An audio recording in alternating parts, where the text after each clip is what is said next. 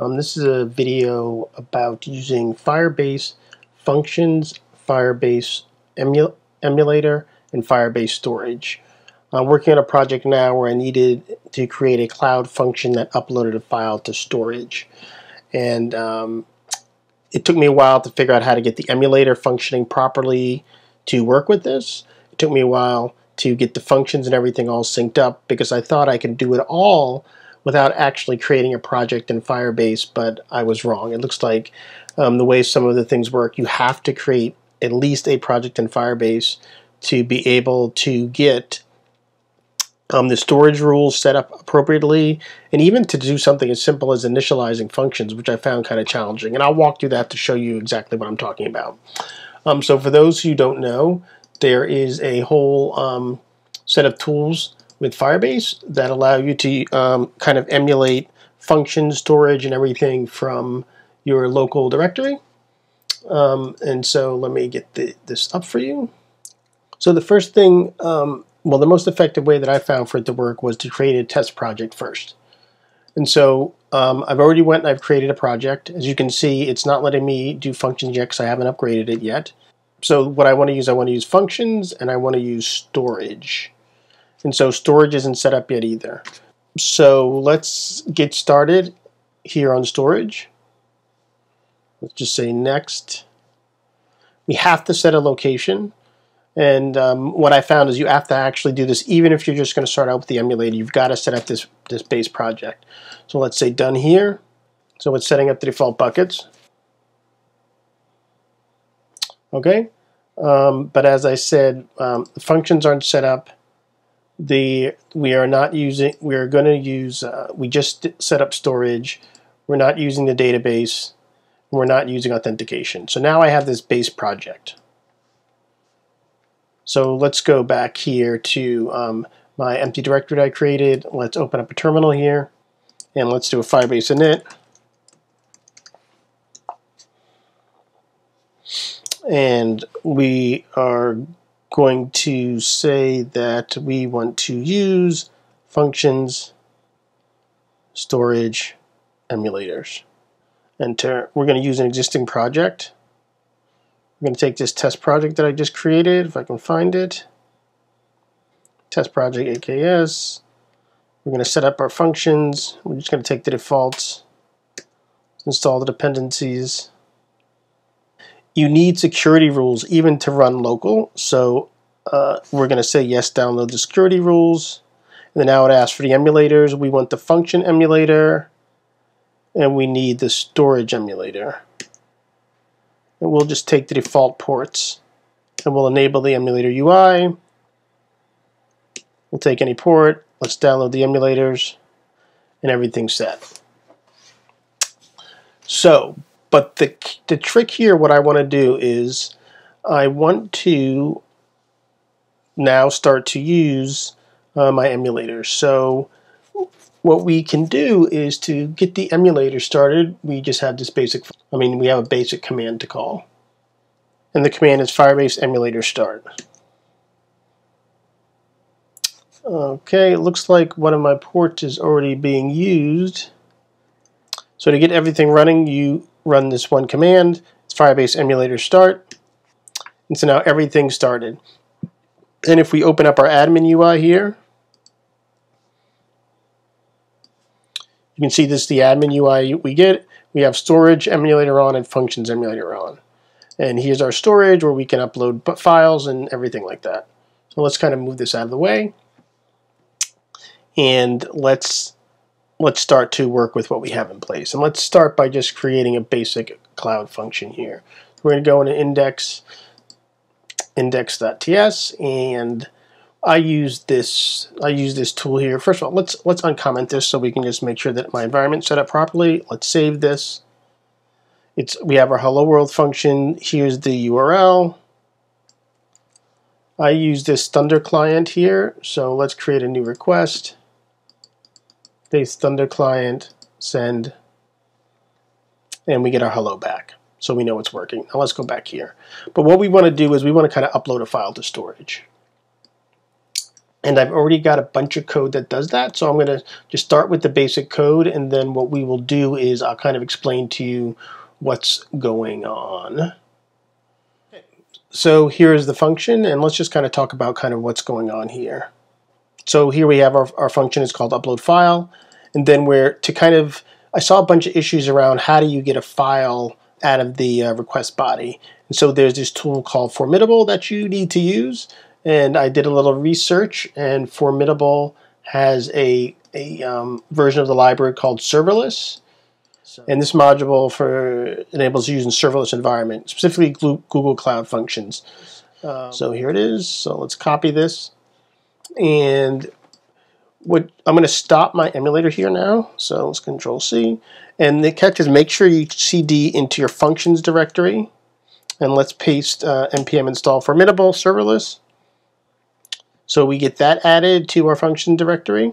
The other thing is we need to actually get access to Firebase in here. So we need to import um, Firebase admin. So now we get Firebase admin. So what's going to happen here is um, this is going to take the incoming form, and so we get this form object here. And then off of this, you can pull out a files object, and it will it will find the variable in your form that holds the files and then it'll check to see if there's a file or not. Right now it's just doing a reject, and so a reject here will basically throw an error. So it'll drop down here, and then we'll send the JSON response back with an error if there's no files. Otherwise, we get the actual path off of the file object. We're just console logging it out so we can see it there. And then we're getting in Firebase storage. We're getting the default bucket. Then we're going to pass the file path to upload it, and we're specifying the content type. Then we get a bunch of data back, but all we really, all I'm really looking for right now is just the metadata back from it. And then when we we resolve this promise, and then when this promise is resolved, we fall down into this then, and then we will pass back um, the metadata information from the file upload here, and that should be the answer to the, uh, not the answer, but that should be the response to the um, file upload. So now let's save this. And let's run everything again. Well, let's, first of all, let's get out of this functions directory. Now let's run it.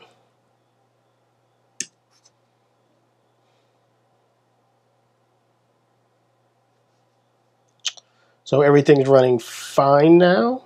Let's go back to my Formidable client. Not Formidable, my Thundercat client. And here we're going to do instead is let's use this path here, this file upload path. Let's copy this over here, paste that in, and what we can do is we can switch over to body, um, form, select files. Our field name is file, because that's what we specified here inside of our function, file. And then um, let's just select the file to upload. What's this? This is our clearly innovative logo. Always like to put that out there. So let's select that for open. So now we have the file here. And then now let's send this and see what we get. Okay, what did I miss? Formidable is not defined. Let's see, what did I do? I did not import it. So let me put this here. Let's save this again. Function got killed, so we're going to cancel everything, start our emulator all over again. Let's go back to my request. Let's send this again. Looks like it threw an error. Let's see. Oh, I did not call initialize app. I just hopped straight into the function, didn't set up Firebase the way I needed to, so let's go right up here at the top. Um, that should, let's, let's um, go down here and kill this guy again. Start it up. Let's go back to my requests. Let's send and there's my file. My file's been uploaded. And so this is a response that I sent back. It's got my file info um, and all the information regarding the image that I just uploaded. And if we go back to our emulator suite, and you can get access to your emulator suite, look right here, this, this link right here, the UI. Let's hit command click. Open this up. Let's bring it back over here. And you can see we have our storage emulator, which is running. So let's open this up. And here's the file that we just uploaded. Let's go back and then we can see our functions. Here's the function that we just ran. Here's the file path where it got uploaded with formidable. And as you saw, we had the successful outcome. Just one more time, let's go through the code. We use formidable to get the incoming form. And here, this basically is just a form field. The other good thing is let's open up.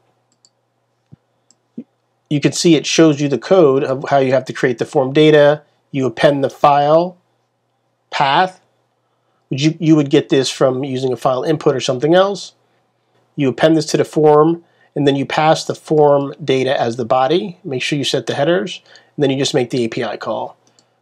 For those who use Axios, there's also an example here of how you actually do it with the Axios. Here it's a little bit different because you need, it looks like you need to um, read a file stream, but everything that you need is here. So now we go back. We're looking specifically, notice how on the um, notice how on the form field it's named file. And so you need to make sure here that it's named file here. But when we look at the source, on this files option, we get the, the file value. We throw the error. We get the full path of the file. Because this file path gives us the full path. We want the full path, not just the name. And then we get the storage bucket from Firebase. We're sending it to the default bucket. You could pass it in potentially as another parameter for which bucket you want it to go to. Then we upload the file. We specify the content type. We're using async await. So if everything's successful, now we want to end this promise, and so we resolve it with the information that we got. So you get the response, you pass it as the file info, and then the file info gets sent back as the response to the call on success, and on error, we send back the error. So that's how you do a basic file upload using the storage emulator. And I guess now if we really wanted to test this without the emulator, um, what you would have to do is, let's go back into Firebase. You have to go to your test project. Um, as you can see, I don't have functions turned on. Uh, to turn on function, I need to upgrade my project, and so I'm not going to do that, but that's what you would need to do. But this is a way for you to kind of test your functions and test some things by just using the emulator. Hopefully you found this video helpful. I'll include the source code for the file upload. And actually, I'll just upload the whole project so that you can see how I got everything set up.